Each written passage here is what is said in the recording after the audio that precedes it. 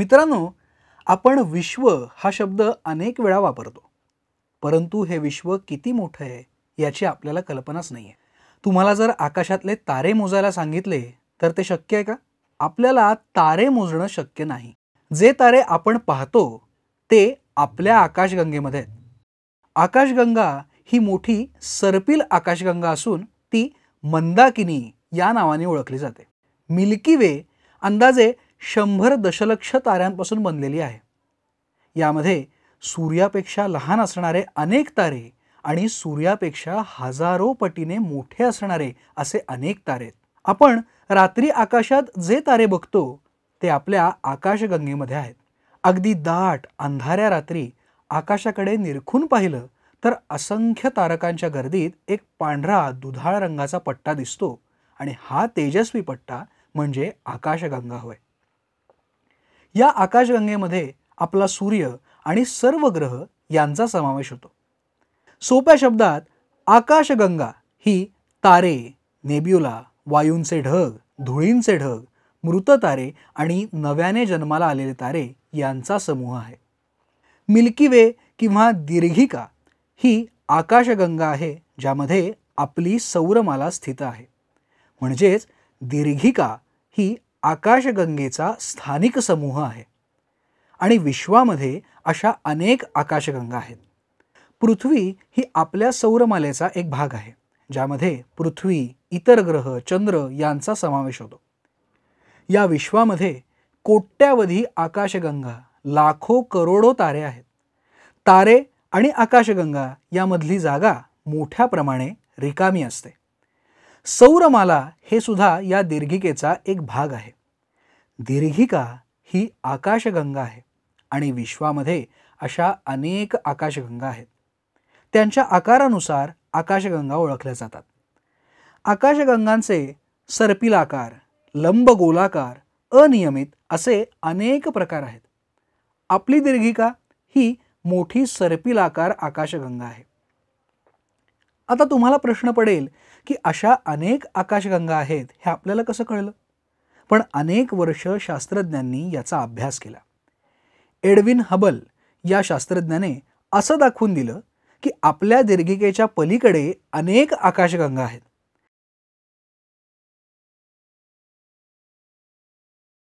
अवकाशाची माहिती दुर्बिणीच्या सहाय्याने अवकाशाच्या निरीक्षणातून मिळवली जाते.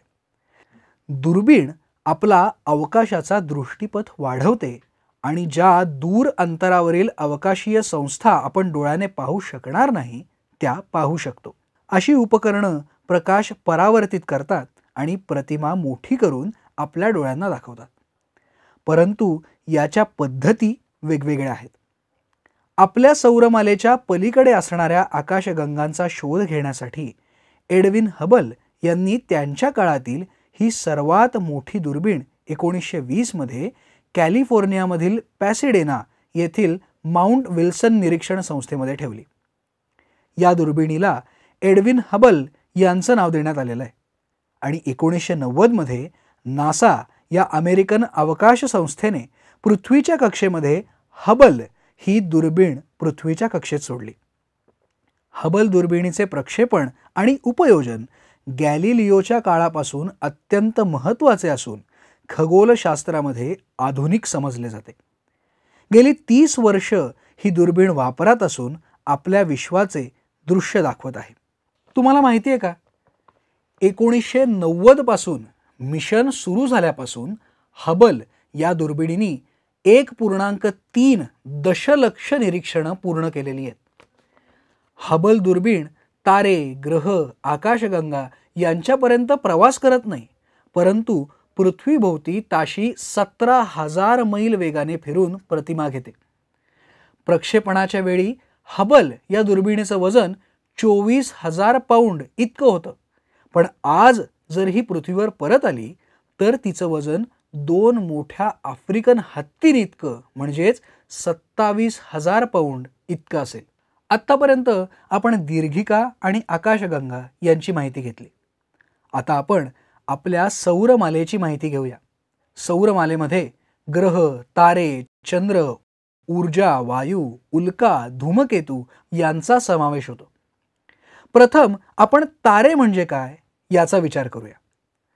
रात्री निरभ्र आकाशात आपल्या दीर्घिकेचे भाग असलेले अनेक तारे आपल्याला चमकताना दिसतात.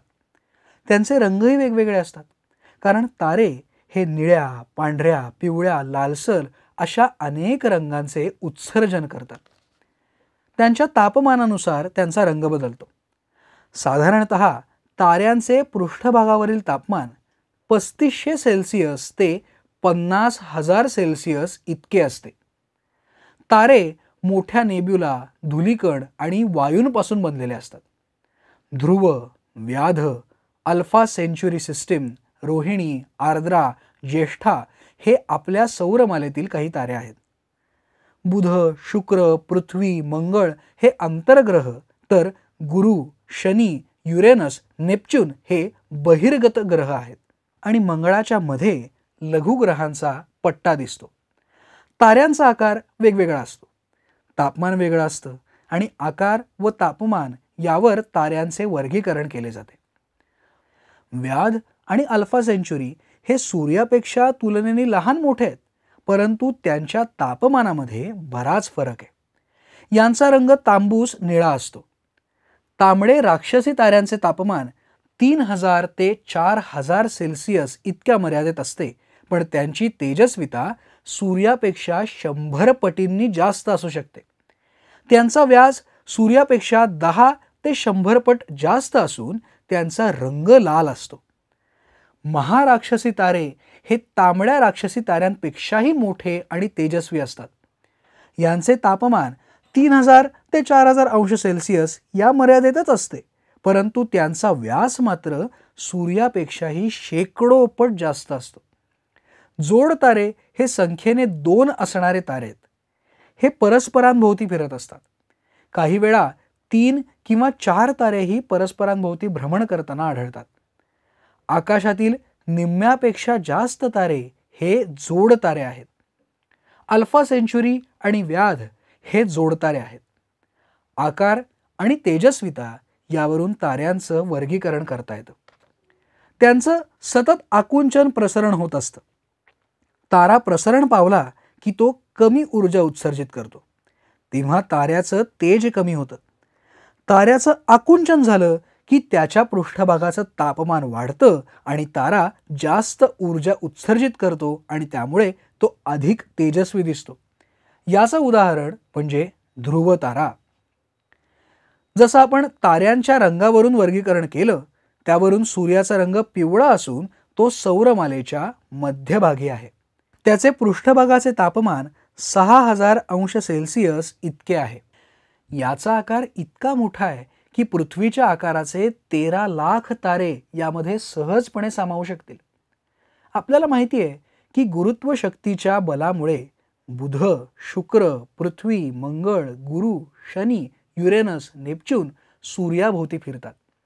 सूर्याचा व्यास साधारणत तेरा लाख ब्याण्णव हजार किलोमीटर इतका असून सूर्य स्वतःच्या अक्षाभोवती फिरत फिरत आकाशगंगेच्या केंद्राभोवती सुद्धा फिरतो आणि तेही सूर्यमालेसह फिरतो. विश्व लाखो आकाशगंगांनी बनलेलं आहे. मिल्की वे ही आपली आकाशगंगा असून त्यामध्ये शंभर अब्ज तारे आणि आपली सौरमाला यांचा समावेश होतो. ही मोठी सरपिल आकाशगंगा आहे. तारे. काही तेजस्वी काही फिकट तर काही रंगीत आहेत. ताऱ्यांचे पृष्ठभागावरील तापमान पस्तीसशे सेल्सिअस ते पन्नास हजार सेल्सिअस इतके असते. मोठा नेब्युला धुलीकण आणि वायूंनी तयार झालेले. उदाहरणार्थ पोलरिस सिरियस अल्फा सेंच्युरी सूर्य हा तारा आहे.